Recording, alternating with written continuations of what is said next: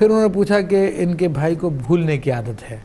तो देखें हाफजे की मजबूती के लिए बहुत सारे वज़ाइफ हैं।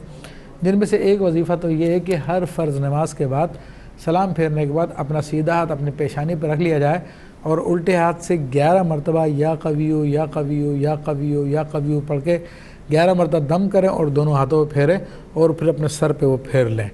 तो इन जब मुस्तकिल इसको अपनी आदत बना लेंगे तो अल्लाह ने चाह हाफजा मज़बूत हो जाएगा।